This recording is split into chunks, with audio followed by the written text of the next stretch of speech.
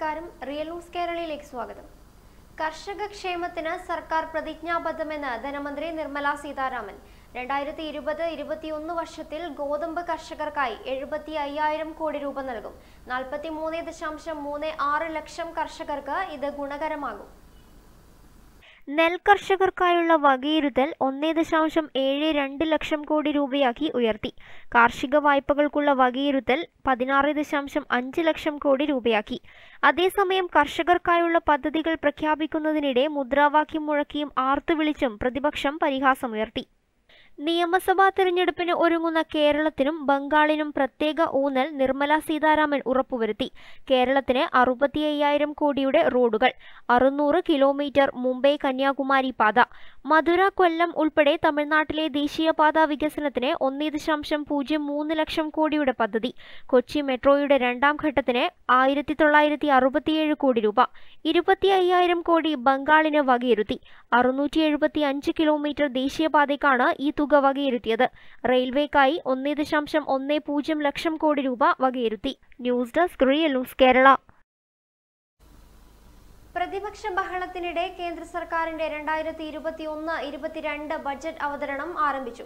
Covid പ്രതിസന്ധിക്കിടെയാണ് budget തയ്യാറാക്കിയതെന്ന് ധനമന്ത്രി നിർമ്മല സീതാരാമൻ പറഞ്ഞു.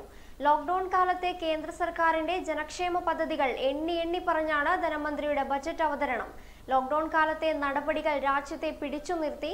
പ്രധാനമന്ത്രി ഖരീബ് യോജന പാവപ്പെട്ടവർക്ക് സഹായകരമായി. പ്രതിസന്ധിയിൽ നിന്ന് കരകയറാൻ ആത്മനിർഭർ ഭാരത് സഹായിച്ചു. ഈ പതിറ്റാണ്ടിലെ ആദ്യത്തെ ബജറ്റാണിത്. രാജ്യത്തെ ആദ്യ ഡിജിറ്റൽ ബജറ്റാണിത്. സാമ്പത്തിക രംഗത്തെ ഉയർച്ചയ്ക്ക് വേണ്ടിയാണ് ഇത്തവണത്തെ ബജറ്റെന്നും ധനമന്ത്രി വ്യക്തമാക്കി. കോവിഡ് വാക്സിൻ വിതരണം രാജ്യത്തിന്റെ നേട്ടമാണ്. ജി ഡി പിയുടെ പതിമൂന്ന് ശതമാനം ചെലവിട്ട് മൂന്ന് ആത്മനിർഭർ പാക്കേജുകൾ പ്രഖ്യാപിക്കാനായി. കോവിഡ് കേസുകൾ കുറഞ്ഞത് പ്രതിസന്ധിയുടെ ആക്കം കുറിച്ചു. ക്ഷമിക്കണം ആക്കം കുറച്ചു. കോവിഡിനെതിരായ പോരാട്ടം തുടരുമെന്നും നിർമ്മല സീതാരാമൻ വ്യക്തമാക്കി. കേന്ദ്ര ബജറ്റിൽ കേരളത്തിന് വലിയ പ്രഖ്യാപനവുമായി ധനമന്ത്രി നിർമ്മല സീതാരാമൻ. കൊല്ലം മധുര മുംബൈ കന്യാകുമാരി പാതകൾക്കായി ആയിരത്തി ഒരുന്നൂറ് കിലോമീറ്റർ പദ്ധതിക്ക് അറുപത്തി അയ്യായിരം കോടിയാണ് ബജറ്റിൽ പ്രഖ്യാപിച്ചത്. കൊച്ചി മെട്രോ രണ്ടാം ഘട്ടത്തിന് ആയിരത്തി തൊള്ളായിരത്തി അൻപത്തി ഏഴ് കോടി വകയിരുത്തി. ഒപ്പം രണ്ടാം ഘട്ടത്തിൽ പതിനൊന്ന് ദശാംശം അഞ്ച് കിലോമീറ്റർ നീട്ടും. കോവിഡ് പ്രതിസന്ധി കാലത്തെ കേന്ദ്ര ബജറ്റിൽ ആരോഗ്യ മേഖലയ്ക്കും ഊന്നൽ നൽകിയിട്ടുണ്ട്. അറുപത്തിനാലായിരത്തി ഒരുന്നൂറ്റി എൺപത് കോടിയുടെ പ്രത്യേക പാക്കേജാണ് ധനമന്ത്രി പ്രഖ്യാപിച്ചത്. കോവിഡിനെതിരായ പോരാട്ടം അതിശക്തമായി തുടരും. ഇതിനായി ദേശീയ ആരോഗ്യ സ്ഥാപനങ്ങൾ ശക്തിപ്പെടുത്തും. രണ്ട് വാക്സിനുകൾ രംഗത്തിറക്കിയ ഭാരതം ലോകത്തിന് ഈ വാക്സിനുകളിലൂടെ ആശ്വാസം പകർന്നെന്ന് മന്ത്രി വ്യക്തമാക്കി. രണ്ട് വാക്സിനുകൾ കൂടി ഇന്ത്യ ഉടൻ പുറത്തിറക്കുമെന്നും ധനമന്ത്രി പറഞ്ഞു. സ്വർണക്കടത്തുമായി ബന്ധപ്പെട്ട് വിദേശത്തേക്ക് ഡോളർ കടത്തിയ കേസിൽ മുഖ്യമന്ത്രിയുടെ മുൻ പ്രിൻസിപ്പൽ സെക്രട്ടറി എം ശിവശങ്കറിന്റെ ജാമ്യാപേക്ഷയിൽ വിധി പറയുന്നത് ബുധനാഴ്ചയിലേക്ക് മാറ്റി. കസ്റ്റംസിന്റെ സ്വർണക്കടത്ത് കേസിലും ഇ ഡിയുടെ കള്ളപ്പണ കേസിലും നേരത്തെ ജാമ്യം ലഭിച്ച ശിവശങ്കറിന് ഡോളർ കടത്ത് കേസിൽ കൂടി ജാമ്യം കിട്ടിയാൽ പുറത്തിറങ്ങാം. ഡോളർ കടത്തുമായി തനിക്ക് യാതൊരു പങ്കില്ലെന്നും തനിക്കെതിരെ ഒരു തെളിവും ഹാജരാക്കാൻ ആയിട്ടില്ലെന്നുമാണ് ശിവശങ്കറിന്റെ വാദം. കസ്റ്റഡിയിൽ വെച്ച് പ്രതികൾ നൽകിയ മൊഴികൾ മാത്രമാണ് തനിക്കെതിരെയുള്ളത്. കള്ളക്കടത്ത് റാക്കറ്റിലെ പ്രധാന കണ്ണിയാണ് ശിവശങ്കർ എന്നും ഡോളർ കടത്തിൽ ശിവശങ്കറിനെതിരെ ശക്തമായ തെളിവുകൾ ലഭിച്ചിട്ടുണ്ടെന്നും കസ്റ്റംസ് പറയുന്നു. സ്വർണക്കടത്തുമായി ബന്ധപ്പെട്ട കസ്റ്റംസ് കേസിലും കള്ളപ്പണം വെളുപ്പിച്ചെന്ന എൻഫോഴ്സ്മെന്റ് കേസിലും ശിവശങ്കറിന് ജാമ്യം ലഭിച്ചിട്ടുണ്ട്. ഡോളർ കടത്തിലും ജാമ്യം ലഭിച്ചാൽ ശിവശങ്കറിന് jail മോചിതനാകാം. News desk real news Kerala. കർഷക പ്രതിഷേധത്തിൽ പങ്കെടുക്കാനായി ഡൽഹി യു പി അതിർത്തിയിലേക്കുള്ള കർഷകരുടെ ഒഴുക്കു തുടരുന്നു. സിംഗു ഖാസിപ്പൂർ തിക്രി തുടങ്ങി വിവിധ അതിർത്തികളിലേക്ക് കർഷകർ എത്തിക്കൊണ്ടിരിക്കുകയാണ്. സുരക്ഷ ശക്തമാക്കിയിരിക്കുകയാണെങ്കിലും അതൊക്കെ മറികടന്നാണ് കർഷകർ എത്തുന്നത്. അതേസമയം റിപ്പബ്ലിക് ദിനത്തിലെ ട്രാക്ടർ പരേഡിന് ശേഷം നൂറിൽ പരം കർഷകരെ കാണാതായ സംഭവം പരിശോധിക്കാൻ ആറംഗ സമിതി രൂപീകരിച്ചു. റിപ്പബ്ലിക് ദിനത്തിലെ ട്രാക്ടർ പരേഡിനും സംഘർഷങ്ങൾക്കും ശേഷം നൂറിൽ പരം കർഷകരെ കാണാനില്ലെന്നാണ് സംയുക്ത കിസാൻ മോർച്ചയുടെ പരാതി. ഇക്കാര്യം കർഷക നേതാക്കളുടെ ആറംഗ സമിതി പരിശോധിക്കും. പോലീസ് കസ്റ്റഡിയിലെടുത്തവർക്ക് നിയമസഹായം നൽകും. കേന്ദ്ര സർക്കാരുമായി തുറന്ന മനസ്സോടെ ചർച്ചയ്ക്ക് തയ്യാറാണ്. കാർഷിക നിയമങ്ങൾ പിൻവലിക്കണമെന്നും താങ്ങുവിലയ്ക്ക് നിയമപരിരക്ഷ ഉറപ്പാക്കണമെന്നുള്ള ആവശ്യത്തിൽ ഉറച്ചു നിൽക്കുന്നു.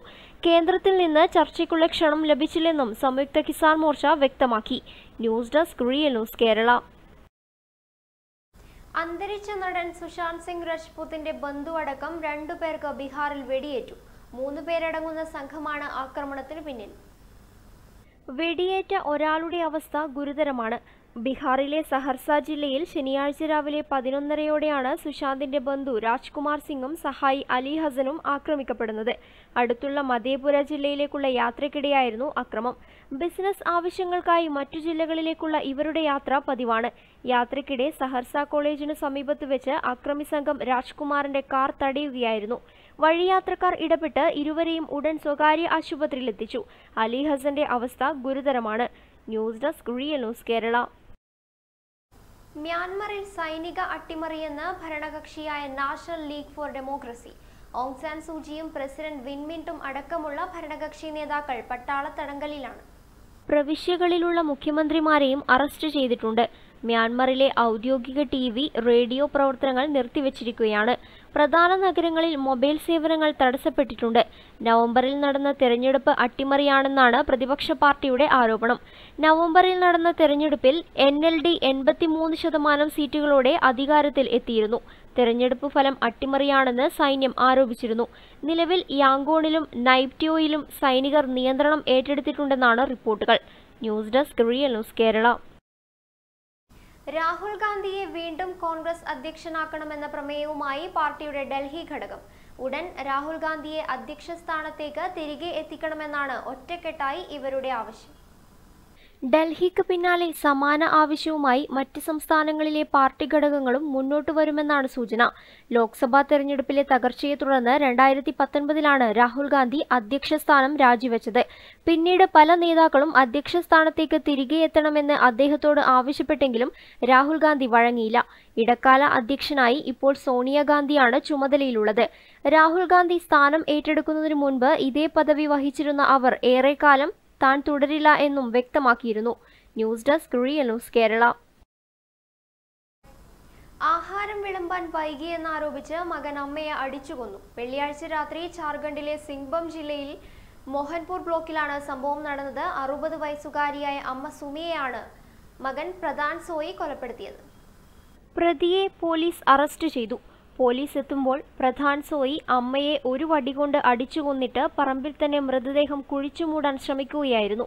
അയാൾ രാത്രി മദ്യപിച്ചു വന്നിട്ട് അമ്മയോട് ഭക്ഷണം ചോദിച്ചു. ഭക്ഷണം എടുത്തു നൽകാൻ വൈകിയതോടെ ഒരു വടിയെടുത്ത് അമ്മയെ അടിച്ചു കൊല്ലുകയായിരുന്നു. News desk real news Kerala. Covid കണക്കിലെടുത്ത് ആറ്റുകാൽ പൊങ്കാലയ്ക്ക് കൂടുതൽ നിയന്ത്രണം. ശ്രീകോവിലിന് മുന്നിലെ പണ്ടാര അടുപ്പിൽ മാത്രമായി പൊങ്കാല പരിമിതപ്പെടുത്തി. ക്ഷേത്രവളപ്പിലും ഭക്തർക്ക് പൊങ്കാലയിടാൻ അനുവാദമുണ്ടാകില്ല. നേരത്തെ ക്ഷേത്രവളപ്പിൽ അനുമതി നൽകാൻ ദേവസ്വം മന്ത്രി വിളിച്ച യോഗത്തിൽ നിർദ്ദേശം ഉയർന്നിരുന്നു. രോഗവ്യാപനം കൂടിയ സാഹചര്യത്തിലാണ് ക്ഷേത്രം ട്രസ്റ്റ് യോഗം ഇത് വേണ്ടെന്ന് വെച്ചത്. അതേസമയം പൊങ്കാല ദിനം കോവിഡ് പ്രോട്ടോകോൾ പാലിച്ച് ഭക്തർക്ക് ക്ഷേത്ര ദർശനത്തിന് അനുമതിയുണ്ട്. ഭക്തർ വീടുകളിൽ പൊങ്കാലയിടണമെന്നാണ് നിർദ്ദേശം. News desk real news Kerala. Kazhakkoottam Marian engineering കോളേജിലെ മൂന്നാം വർഷ ആർക്കിടെക്ട് വിദ്യാർത്ഥിനി അഞ്ജനയെ ആത്മഹത്യ ചെയ്ത നിലയിൽ കണ്ടെത്തി. കോളേജിലെ ഹോസ്റ്റൽ മുറിയിലാണ് മരിച്ച നിലയിൽ കണ്ടെത്തിയത്. രാവിലെ ഭക്ഷണം കഴിക്കാൻ എത്താത്തതിനാൽ സഹപാഠി മുറിയിലെത്തി നോക്കിയപ്പോഴാണ് വിവരമറിഞ്ഞത്. ഉടൻ തന്നെ ഹോസ്റ്റലിലെ വാർഡൻ ഉൾപ്പെടെയുള്ളവരെ വിവരം അറിയിക്കുകയായിരുന്നു. ഗുളികകൾ അമിത അളവിൽ കഴിച്ചതാകാം മരണകാരണമെന്നാണ് പോലീസ് നിഗമനം. മൃതദേഹത്തിന്റെ അരികിൽ നിന്നും ആത്മഹത്യാക്കുറിപ്പും പോലീസ് കണ്ടെടുത്തു. അടൂർ സ്വദേശിനിയാണ് മരിച്ച അഞ്ജന. മൃതദേഹം മെഡിക്കൽ കോളേജ് മോർച്ചറിയിൽ സൂക്ഷിച്ചിരിക്കുകയാണ്. കഴക്കൂട്ടം പോലീസ് കേസെടുത്തു. News desk real news Kerala. U എയിൽ ബലാത്സംഗത്തിന് വധശിക്ഷ ലഭിക്കുമെന്ന് പബ്ലിക് പ്രോസിക്യൂഷൻ. പതിനാല് വയസ്സിന് താഴെയുള്ളവരുമായുള്ള ലൈംഗിക ബന്ധം ബലാത്സംഗമായി കണക്കാക്കും. ബലപ്രയോഗത്തിലൂടെ പുരുഷനുമായുള്ള ലൈംഗിക ബന്ധത്തിനും വധശിക്ഷ ലഭിക്കും. കുട്ടികളുടെയും അഗതികളുടെയും സംരക്ഷണത്തിന് നിലവിലുള്ള ജുവനൈൽ നിയമങ്ങൾക്ക് പുറമെയാണ് ബലാത്സംഗത്തിന് വധശിക്ഷ ലഭിക്കുമെന്ന ഫെഡറൽ നിയമമെന്ന് പബ്ലിക് പ്രോസിക്യൂഷൻ വ്യക്തമാക്കി.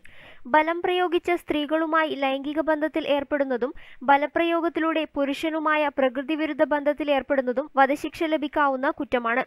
എന്നാൽ പതിനാല് വയസ്സിന് താഴെയുള്ളവരുമായി ലൈംഗിക ബന്ധത്തിൽ ഏർപ്പെട്ടാൽ ബലപ്രയോഗം തെളിയിക്കേണ്ടതില്ല.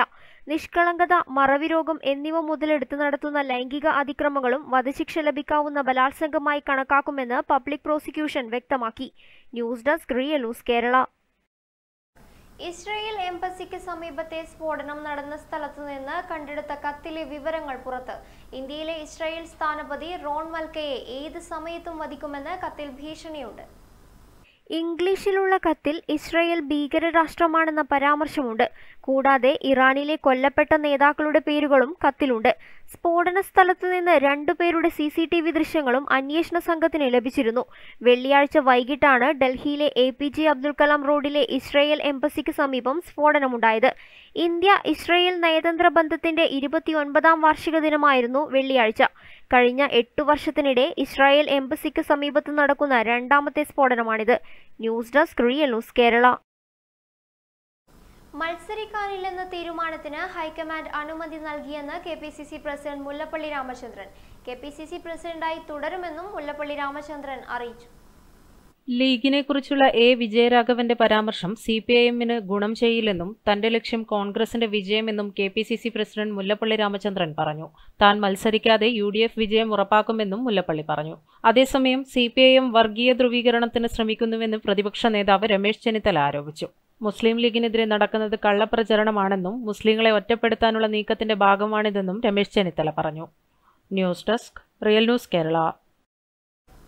Palarivattom പാലം പുതുക്കി പണിതതിന്റെ ചിലവ് ആവശ്യപ്പെട്ട് ആർ ഡി എസ് കമ്പനിക്ക് സർക്കാരിന്റെ നോട്ടീസ്. കരാർ കമ്പനി ഇരുപത്തിനാല് ദശാംശം അഞ്ച് രണ്ട് കോടി രൂപ നഷ്ടപരിഹാരം നൽകണമെന്നാണ് ആവശ്യം. പാലത്തിന്റെ പുനർനിർമ്മാണം സർക്കാരിന് നഷ്ടമുണ്ടാക്കി. പാലം കൃത്യമായി നിർമ്മിക്കുന്നതിൽ കമ്പനിക്ക് വീഴ്ച പറ്റി. കരാർ വ്യവസ്ഥ അനുസരിച്ച് നഷ്ടം നൽകാൻ കമ്പനിക്ക് ബാധ്യതയുണ്ടെന്നും സർക്കാർ നോട്ടീസിൽ പറയുന്നു.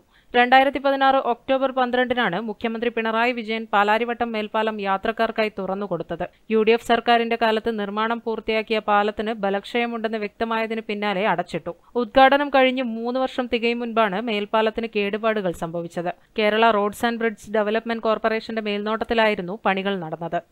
News desk real news Kerala. നയതന്ത്ര ചാനലിലൂടെ ഈന്തപ്പഴം ഇറക്കുമതി ചെയ്ത സംഭവത്തിൽ സർക്കാരിന് അന്വേഷണ വിവരങ്ങൾ കൈമാറാനാകില്ലെന്ന നിലപാടിൽ customs. Additional state protocol officer നൽകിയ വിവരാവകാശം പരിശോധിച്ച ശേഷം മറുപടി നൽകാനും കസ്റ്റംസ് തീരുമാനിച്ചു. യു എ ഇ കോൺസുലേറ്റിന്റെ ഈന്തപ്പഴ വിതരണവുമായി ബന്ധപ്പെട്ടാണ് ചോദ്യങ്ങൾ. ആറ് ചോദ്യങ്ങളാണ് സംസ്ഥാന സർക്കാർ ചോദിച്ചിരിക്കുന്നത്. കസ്റ്റംസ് ഡ്യൂട്ടി വെട്ടിപ്പുമായി ബന്ധപ്പെട്ട് എത്ര കേസുകളിൽ നിയമവ്യവഹാരം ആരംഭിച്ചു എന്നതാണ് ആദ്യത്തെ ചോദ്യം. വിദേശകാര്യ മന്ത്രാലയത്തിന്റെ പ്രോട്ടോകോൾ ഹാൻഡ്ബുക്ക് അനുവദിക്കുന്നത് പ്രകാരം എക്സംഷൻ സർട്ടിഫിക്കറ്റ് നൽകിയിട്ടുള്ള വസ്തുക്കൾ എന്തൊക്കെയാണ്? അത് ഉറപ്പുവരുത്തുന്നതിനുള്ള എന്തൊക്കെ നടപടികളാണ് കസ്റ്റംസ് സ്വീകരിച്ചിരിക്കുന്നത് എന്നതാണ് രണ്ടാമത്തെ ചോദ്യം. നയതന്ത്ര ഓഫീസുകളുടെ ഉപയോഗത്തിനായി ഇറക്കുമതി ചെയ്യുന്ന സാധനങ്ങളുടെ കസ്റ്റംസ് ഡ്യൂട്ടി ഒഴിവാക്കി കൊടുക്കാൻ ഉത്തരവാദിത്തപ്പെട്ട വ്യക്തി ആരാണ്? തിരുവനന്തപുരത്തെ യു എ ഇ കോൺസുലേറ്റ് ഇറക്കുമതി ചെയ്ത ഈന്തപ്പഴം അനുവദനീയമല്ലാത്ത കാര്യങ്ങൾക്കായി ഉപയോഗിച്ചിട്ടുണ്ടെങ്കിൽ അതിന് ഡ്യൂട്ടി അടയ്ക്കാൻ ബാധ്യസ്ഥനായ ഇറക്കുമതിക്കാരൻ ആര്? ഇറക്കുമതി ചെയ്ത വസ്തുക്കൾക്ക് മേൽ കസ്റ്റംസ് നടപടികൾ ആരംഭിച്ചിട്ടുണ്ടോ എത്ര പേർക്ക് സമൻസ് അയച്ചിട്ടുണ്ട് എന്നീ ചോദ്യങ്ങളാണ് കസ്റ്റംസിനോട് സർക്കാർ ചോദിച്ചിരിക്കുന്നത്. News desk real news Kerala. ക്രൈസ്തവ സംഘടനകളുമായി അടുക്കാൻ ബി ജെ പി തീരുമാനം. വിവിധ സഭാ മേലധ്യക്ഷന്മാരുമായി ബി ജെ പി നേതാക്കൾ ചർച്ചകൾ നടത്തും. ഇതിനായി പ്രത്യേക സബ് കമ്മിറ്റി ഉടൻ രൂപീകരിക്കും. സംസ്ഥാന ജനറൽ സെക്രട്ടറി ജോർജ് കുര്യനാണ് ഏകോപന ചുമതല. കേരളത്തിലെത്തുന്ന ജെ പി നദ്ദ മതമേലധ്യക്ഷന്മാരെ കാണാൻ താൽപര്യം അറിയിച്ചിട്ടുണ്ട്. അതേസമയം ബി ജെ പിയിലെ സീറ്റ് വിഭജന ചർച്ച അടുത്തയാഴ്ച ആരംഭിക്കും. പ്രകടന പത്രിക തയ്യാറാക്കാനുള്ള സബ് കമ്മിറ്റിയുടെ കൺവീനറായി കുമ്മനം രാജശേഖരനെ നിയോഗിച്ചു. ശബരിമല നിയമനിർമ്മാണം പ്രകടന പത്രികയിൽ ഇടം നേടും. ഇന്നലെ ചേർന്ന സംസ്ഥാന സമിതി യോഗത്തിലാണ് ഇക്കാര്യങ്ങളിൽ തീരുമാനമെടുത്തത്. കേന്ദ്ര നിർദ്ദേശത്തിന്റെ ഭാഗമായാണ് ക്രൈസ്തവ സഭകളുമായി ചർച്ച നടത്തുക. News desk real news Kerala. സൗദിയിലെ സമഗ്രമായ മെട്രോ ട്രെയിൻ നെറ്റ്വർക്ക് റിയാദിൽ ഒരുങ്ങുന്നു. സെപ്റ്റംബറോടെ ആദ്യഘട്ട സർവീസ് തുടങ്ങാനാണ് ലക്ഷ്യം. റിയാദ് റോയൽ കമ്മീഷൻ ഇതിനുള്ള ശ്രമങ്ങൾ ആരംഭിച്ചു. കോവിഡ് സാഹചര്യത്തിൽ ഇഴഞ്ഞിരുന്ന പ്രവർത്തനം വീണ്ടും സജീവമായിരിക്കുകയാണ്. സർവീസിന് മുന്നോടിയായി ട്രാക്കുകളിൽ ട്രയൽ റൺ ആരംഭിച്ചിട്ടുണ്ട്. ലോകത്തെ ഏറ്റവും മികച്ച സാമ്പത്തിക നഗരങ്ങളിലൊന്നായി റിയാദിനെ മാറ്റുമെന്ന് സൗദി കിരീടാവകാശി പ്രഖ്യാപിച്ചിരുന്നു. ഭാവിയിൽ റിയാദിൽ പത്ത് കോടി ജനങ്ങളുണ്ടാകുമെന്ന് കണക്കുകൂട്ടിയുള്ള പദ്ധതികളാണ് വരുന്നത്. ഇതിന്റെ ഭാഗമായി റിയാദിലെ കിങ് സൽമാൻ പാർക്ക് ഗിദ്ദിയ തുടങ്ങിയവയുമായും മെട്രോയെ ബന്ധിപ്പിക്കും. ജനസംഖ്യാ വർധനവിനനുസരിച്ച് മെട്രോ വികസിപ്പിക്കാനാണ് റോയൽ കമ്മീഷന്റെ നീക്കം. നൂറ്റി എഴുപത്തിയാറ് കിലോമീറ്റർ ദൈർഘ്യത്തിൽ ലോകത്തിലെ നീളം കൂടിയ മെട്രോ ലൈനിൽപ്പെടും റിയാദ് മെട്രോ. എൺപത് സ്റ്റേഷനുകളാണ് മെട്രോയ്ക്കായി സജ്ജീകരിച്ചിരിക്കുന്നത്. രണ്ടോ നാലോ ബോഗികളാകും ഒരു ട്രെയിനിൽ. റെയിൽവേ സ്റ്റേഷനുകളെ ബന്ധിപ്പിക്കാൻ ബസ് സർവീസുകൾ ഉണ്ടാകും. ബസ്സിനും ട്രെയിനിനും ഒരേ കാർഡാകും നൽകുക. News desk real news Kerala. U എയിൽ സ്ഥിരതാമസമാക്കിയ ചില വിദേശികൾക്ക് പൗരത്വം നൽകാനൊരുങ്ങി U A Abu Dhabi Dubai എന്നിവിടങ്ങളിലാണ് സ്ഥിരതാമസത്തിന് അനുമതി നൽകുന്നത്. പ്രധാനമന്ത്രി Sheikh Mohammed bin Rashid Al മൊക്തൂമാണ് പുതിയ തീരുമാനത്തെക്കുറിച്ച് അറിയിച്ചത്. യു എയിൽ സ്ഥിരതാമസമാക്കിയ എല്ലാവർക്കും പൗരത്വം നൽകുകയില്ല. കലാകാരന്മാർ എഴുത്തുകാർ ഡോക്ടർ എഞ്ചിനീയർ ശാസ്ത്രജ്ഞർ എന്നിവർക്കും അവരുടെ കുടുംബത്തിനുമാണ് യു എയിൽ പൗരത്വം ലഭിക്കുക. തൊണ്ണൂറ് ലക്ഷത്തിലേറെ പേരാണ് യു എയിൽ സ്ഥിരതാമസമാക്കിയിരിക്കുന്നത്. ഇതിൽ പത്ത് ശതമാനം പേർ മാത്രമാണ് അവിടുത്തെ പൗരന്മാർ.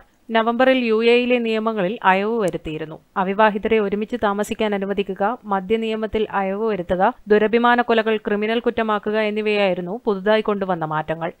News desk real news Kerala. വാർത്തകൾ അവസാനിക്കുന്നില്ല. കൂടുതൽ വാർത്തകൾക്കും വിശേഷങ്ങൾക്കും ഞങ്ങളുടെ വെബ്സൈറ്റായ W W W dot real news Kerala dot com സന്ദർശിക്കുക. നന്ദി.